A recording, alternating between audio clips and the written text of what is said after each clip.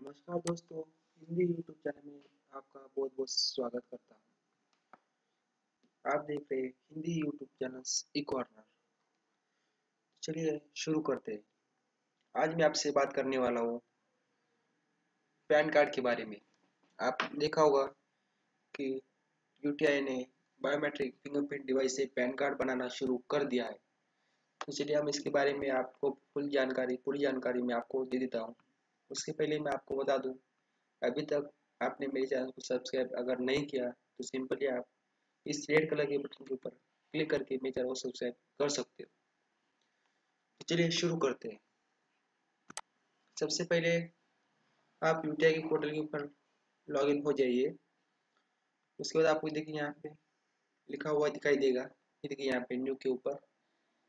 Fingerprint biometric facility enable जो सिर्फ़ Mantra device M या एस वन डबल ज़ीरो के लिए सिर्फ़ अभी लॉन्च हुई ये डिवाइस सिर्फ़ अभी टेस्ट के लिए जो है लाइव हुई है। अगर इसका टेस्ट सक्सेसफुली अगर हो जाता है तो उसके बाद जल्दी इसके अंदर आप देख सकते हैं, यहाँ पे लिखा हुआ है, जल्दी इसके अंदर सभी डिवाइस को जो है ऐड कर दिया जाएगा।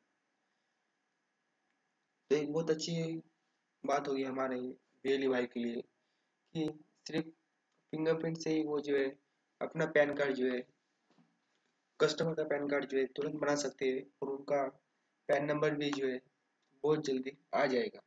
लगभग तुरंत ही उनका पैन नंबर जो जनरेट हो सकता है क्योंकि आप सब जानते हो कि आजकल सभी आधार कार्ड से ही पैन कार्ड लिंक कर दिए जाते हैं।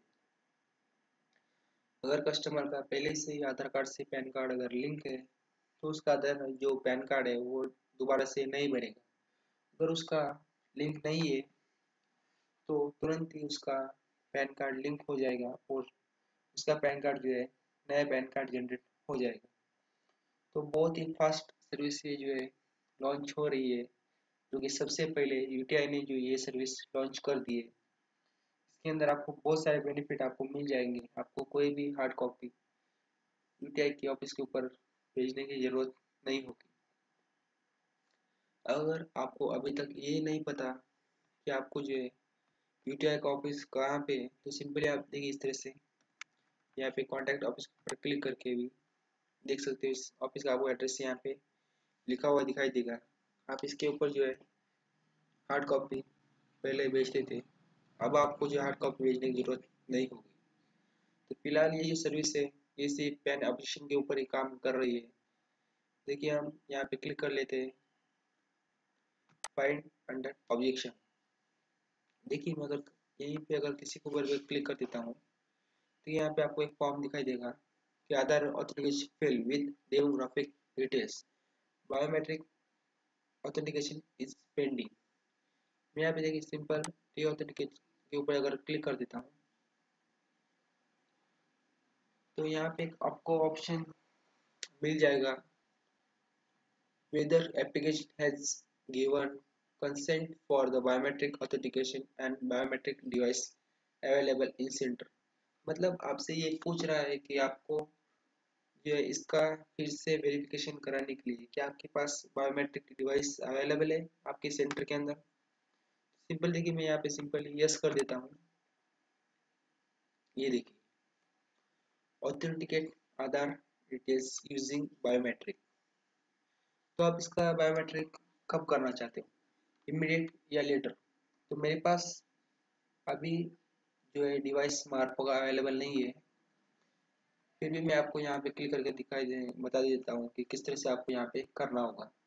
सिंपली आपको यहाँ पे इमीडिएट के ऊपर क्लिक करना होगा। तो ये देखिए आपको कुछ, ये देखिए यहाँ पे आपको एरर आ चुका है। Problems in device loading please try some time ये देखिए, मैंने अभी, मेरे पास जो है डिवाइस ही नहीं है कि मैं अभी मोटो का डिवाइस यूज़ कर रहा हूँ। तो यहाँ पे अगर आपका डिवाइस इसके अंदर अगर कनेक्ट होगा, आपके पीसी के अंदर लैपटॉप के अंदर तो ऑटोमेटिक यहाँ पे डिटेक्ट कर लेगा। ऑटोमेटिक आपको यहाँ पे डिवाइस जो है कैप्चर कर लिया जाएगा। उसके बाद सिंपली आपको यहाँ पे फिंगरप्रिंट लेना होगा कस्टमर का। उसके बाद जो है, उसका जो पैन का जो ऑब्जेक्शन के अंदर उसकी डिटेल्स चली गई थी तो उसका पैन कार्ड जो है, तुरंत बच जाएगा। उसका जो ऑप्शन जो है, उसके ऊपर से हट जाएगा। तो सिर्फ़ ये जो सर्विस है, सिर्फ़ पैन के ऑब्जेक्शन के ऊपर ये सर्विस जो है, इन्होंने अभी शुरू की है। जो कि सिर्फ़ टेस्टिंग के लिए अभी लॉन्च किया है इन्होंने। अगर इसका टेस्टिंग अगर सक्सेसफुली अगर हो जाता है तो फ्यूचर के अंदर ये सर्विस जो है, हमारे लिए सबसे बेहतर मानी जाएगी।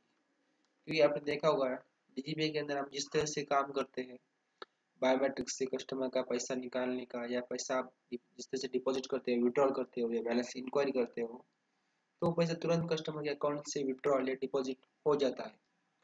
सेम प्रोसेस के अंदर आपको पैन कार्ड भी उसी प्रोसेस के अंदर काम करेगा, जो कि सिंपली उसी वक्त कस्टमर का अगर पैन कार्ड अगर पहले से अगर नहीं बना हुआ है तो सिंपली उसी वक्त उसका ऑथेंटिकेशन कर लिया जाएगा और पैन कार्ड का जो डॉक्यूमेंट है उसका ऑटोमेटिक वहाँ पे फिल हो जाएगा। आपको कोई भी डॉक्यूमेंट उसका जो है ऑफ़िस पे आपको उसकी हार्ड कॉपी भेजने की ज़रूरत नहीं होगी और तुरंत ही उसका जो है पैन कार्ड नंबर जनरेट कर दिया जाएगा। इनकम टैक्स डिपार्टमेंट की तरफ़ से। तो सर्विस जो है, ये बहुत ही यूजफुल हमारे लिए होने वाली है। बिजली के लिए तो बहुत ही खुशखबरी है, बहुत बड़ी बात है। जिस तरह से आपने देखा होगा, सब कुछ फ़ैन उसको पहले फिल करना होता था। उसके बाद उसकी डॉक्यूमेंट को अपलोड करके हार्ड कॉपी को उसके ऑफ़िस के ऊपर भेजना होता था यूटीआई के ऑफ़िस के ऊपर भेजते थे। उसके लिए कुछ कुरियर खर्च भी उसको जो है, बहुत सारा आ रहा था। इसमें टाइम की और पैसों की दोनों की बचत होगी। कस्टमर को भी इसका फ़ायदा मिल जाएगा, उनको भी पैन नंबर जो है तुरंत मिल सकेगा। और हमारे बिजली भाई को जो है उसका भी खर्च कम हो जाएगा उनको प्रिंट और पोस्टेज जो कुरियर जो चार्ज उनको लग रहे थे, वो चार्जेस नहीं लगेंगे। तो ये सर्विस फ़िलहाल तो सिर्फ़ पैन ऑप्शन के ऊपर जो स्टार्ट हो चुकी है। आप चाहे तो आप अपना पैन कार्ड का जो ऑप्शन है तुरंत इसको हटा सकते हो।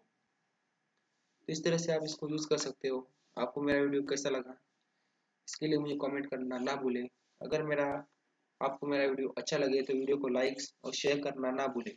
और मेरे चैनल को सब्सक्राइब करना ना भूलें ताकि आपको, अगर आप मेरे चैनल को सब्सक्राइब कर लेते हो तो आपको जो तुरंत लेटेस्ट वीडियो के अपडेट्स लेटेस्ट न्यूज़ आपको जो तुरंत मिलती रहेगी। चलिए, आज के लिए बस इतना ही। जय हिंद वंदे मातरम।